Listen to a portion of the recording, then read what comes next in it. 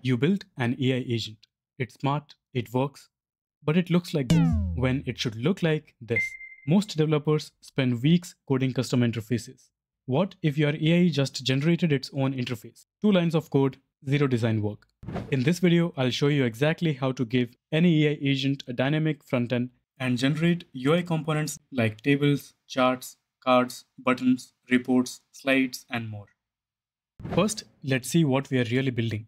I have connected this Google Sheet to our AI agent, which contains 150 rows of customer data, orders, revenue, cancellations.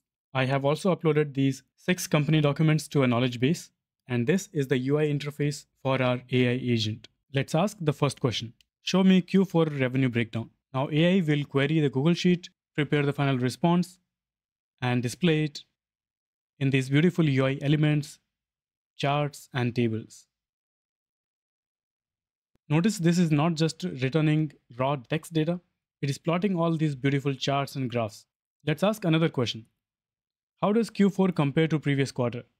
Again, it will pull the data from Google Sheet, it will compare the previous quarter's results with Q4 and give us this really well organized data with charts and graphs. And we saw a decline of $17,000. So let's ask another question. Which product is causing this decline? So the main driver was enterprise plan it has plotted the quarterly revenue by product. Let's ask another question. Show me enterprise customers who cancelled. And here's the list. As we can see, all of these customers are in the healthcare industry. So something is going really wrong with this industry. Are there any healthcare customers left? Now there is only one active healthcare customer.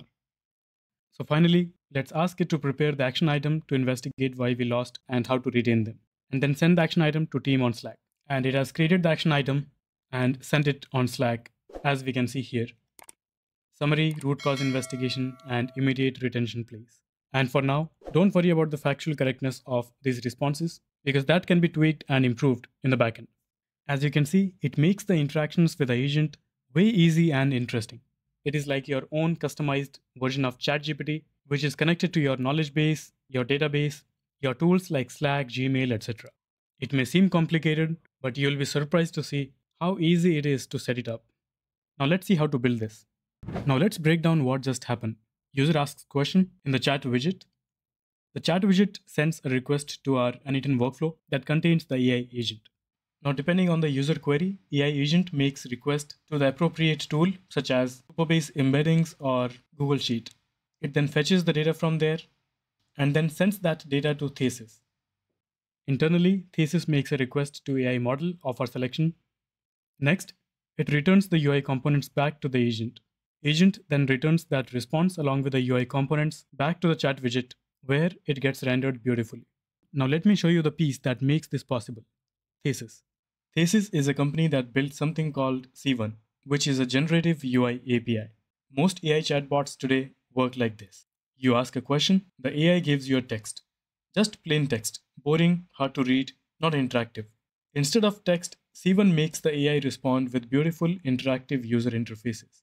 You can go to thesys.dev and create a free account, and you will see a dashboard like this. You can click on Playground at the top, and then create a new playground. Create your own agent, customize it, and test it out here. You can select the model, set the temperature, then go to prompts, add your prompt over here, and here you can add any tool you want. Then you can customize the look and feel of your widget. And if you're a coder, you can click on this button over here, get code, and it will download a zip file for that entire code. You can then integrate it in your project. You need to perform two steps. In step one, you need to change your API endpoint. And instead of calling OpenAI directly, you call Thesys endpoint. And in step two, you add the React component on your front end. Just import Crayon AI React Core and add the C1 chat component. But in this video, we are focusing on no code solution. Thesys has a repository on GitHub called GenUI widget specifically for n8n integration.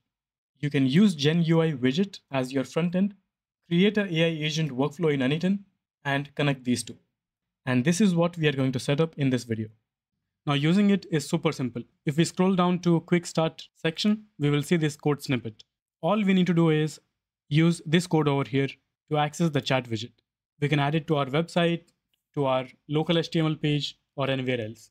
And we can even customize this chat widget by adding more parameters inside this create chat function. So if we scroll further down under configuration section, we can see all the options that we can configure. We can give the agent a name, logo, theme, storage. We can enable the storage. We can select the mode as full screen or side panel, and we can even enable streaming. Streaming means instead of showing the final response at once, we can keep rendering the response chunks as they arrive, just like the way it's shown in ChatGPT and Claude. Alright, now let's build the entire system. Step 1 is to set up our chat widget. All I did was I copied this code from here, I went to Claude and asked it to create a simple HTML page using this code over here. And it gave me this 60 lines of code. This is HTML page that I can run locally. It contains simple styles for the page. If we scroll down in the body, we have this entire script, which contains the import statement and create chat function. In this function, I have added additional parameters that were present in the configuration section of this page. And then I updated the webhook URL, which is present over here. We will get this webhook URL from our n8n workflow. So we will see that in a moment. But for now, this is all we need.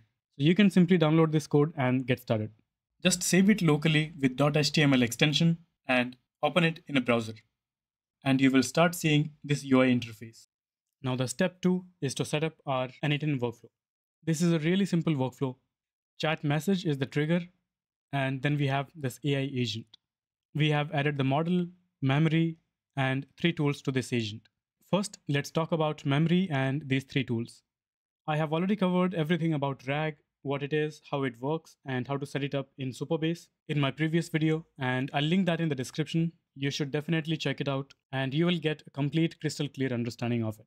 These are the six knowledge docs, and this is a separate n8n workflow for setting up RAG that I've executed. So it pulled all the documents from Google Drive, six items, and then one by one, it first checked if there are any existing embeddings for that doc. If yes, then it removed them and then downloaded the file and created fresh embeddings and inserted them in Supabase. If you don't know, Supabase is another service that you can use as your database or for your authentication needs. And this is how the embeddings look like. So we have this content which got converted into this special vector form, which can later be referenced by our agent. As I mentioned, this workflow is already covered in my previous video and you should definitely check it out.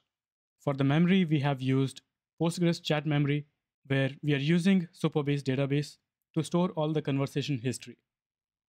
So if I go to Supabase, these are the conversation messages that were exchanged during the demo. Then we have two very simple tools, one for Slack and another for Google Sheet. You can replace the Google Sheet with any of your database. And now the most important part is this OpenAI chat model. Now by default, when we add a chat model and select OpenAI chat model, here we select our OpenAI credentials.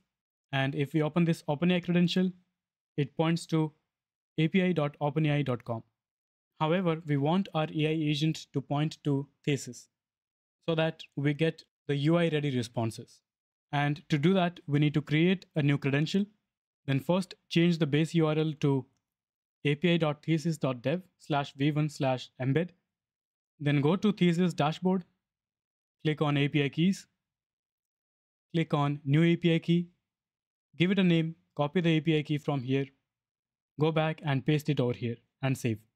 Next, in the dropdown, you can select any model of your choice. And after that, this AI agent will make all the calls to Thesys instead of OpenAI. Let me quickly show you the difference.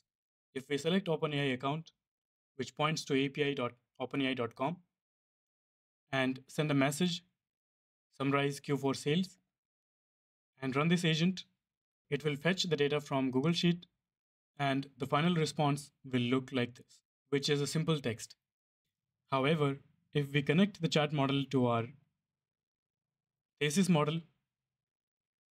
And now, if we run the agent with the same message, it will fetch the data from Google Sheet, prepare the final response that looks like this.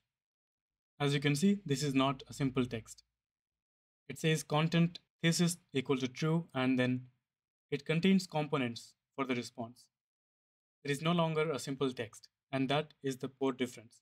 Finally, this output is returned back to our chat widget and there it gets rendered into various components.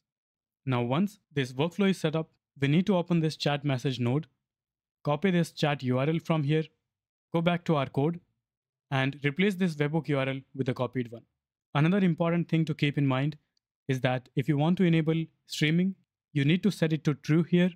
And along with that, in the chat message node, you need to select response mode from this list and set it to streaming. After that, you need to open the AI agent node and enable streaming from here as well. And that's all you need to set it up and you can start chatting with your agent. If you just want to try it out quickly without setting up any UI, can simply open this chat node, copy this chat URL from here, go to thesys.dev slash n8n, scroll down, paste your link over here, and click on continue. And it will open your chat widget and you can start trying it out. Now let's talk about different ways you can use Thesys. Our first use case is conversational AI, where you want to build ChatGPT style apps and it is suitable for customer support chatbots, AI assistants, help desks, etc. Next, it can be used on educational platforms for interactive quizzes, progress tracking, visual explanations, etc.